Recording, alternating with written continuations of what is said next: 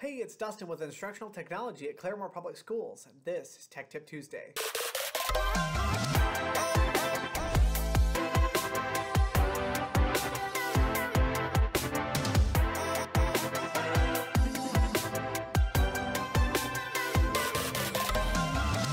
On this Tech Tip Tuesday, we will demonstrate how to log into the Student's Record Portal and edit an existing student for the upcoming year's enrollment.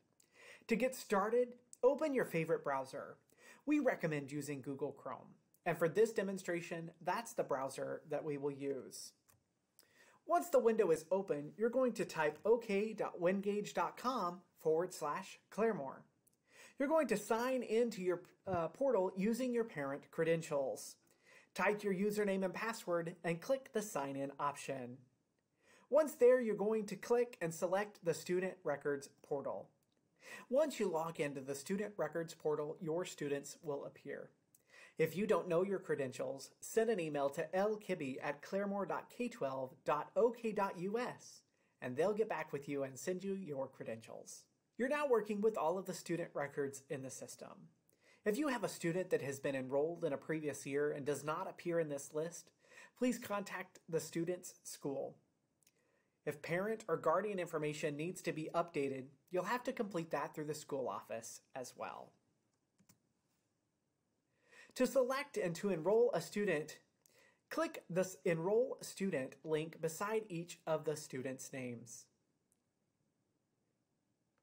The enrollment screen will load, and there are three tabs to help step you through the entire process. The title at the top of the screen will give you directions on how to complete each page. This first page is the student demographics. Verify that all of the information listed on the screen is correct and update the information as needed by clicking the field or the box. Be sure that you click the Save and Continue to st Step 2 link at the top right of your screen. We've now moved on to Step 2. Step 2 is Student Relationships. The relationships are associated with the students will appear on this screen. Here you can add a new relation, clear the current relations, or copy information from another enrolled student. You can also update or remove single relationships by using the links by each of the students or the relationships names. Click the Update Relation to verify the information is correct. Please note that if you are not a legal guardian or not the primary guardian, you cannot change the information for the primary guardian. You're going to scroll through all of the information and check to see if there are changes that need to be made.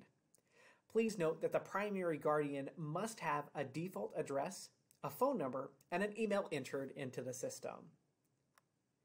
By each of the records, you're going to click Edit and Remove to update the phone, address, or email address. Once you're finished, click the Save and Continue at the top of the page. Once you click the Save and Continue option, you'll be taken back to the Relationships page.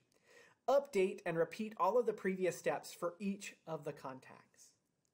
If you need to add a relationship, click the Add New Relationship link at the top left of the corner. Once you click that, the screen will load and you will notice all of the required information is labeled as required in each of the field boxes. Complete the information as needed and click the Save and Continue at the top right of the screen. If you have multiple students where contact information is the same, you can use the Clear Relations and copy from another student link on the Relationships page to copy that information from each student record to those multiple students enrolled. Now, this only works if you are the primary guardian for each one of those students.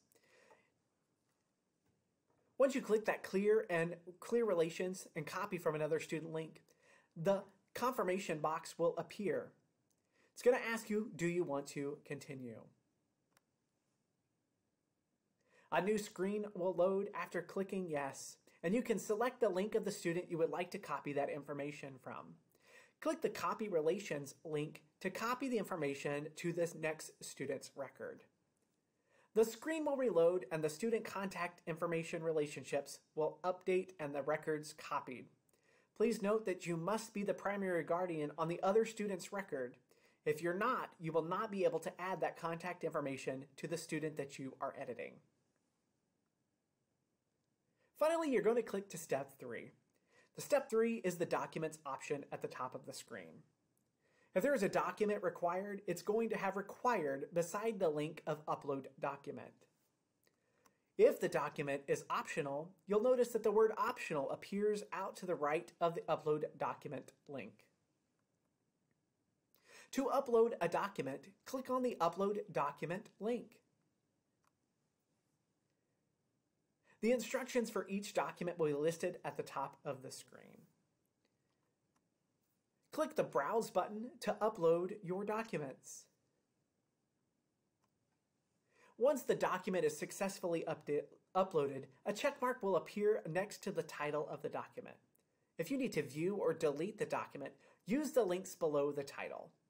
You're going to complete all the required forms and documents to complete this enrollment record. Once you've completed all of the required documents, click the Submit to Site link at the top right of your screen. A confirmation box will appear on the screen. You'll need to click Yes or No to confirm the submission. After clicking Yes, you're going to be taken back to the Documents page. Click the Back to Students link at the top of your screen. The submitted status will now appear to each beside each of those students' names. You can only work with one student at a time. If you're working with multiple students and haven't completed the enrollment process for each of those students, you'll need to complete that first student and then move on to the next. If you have any problems or any questions, please contact your student's school site for more help and assistance.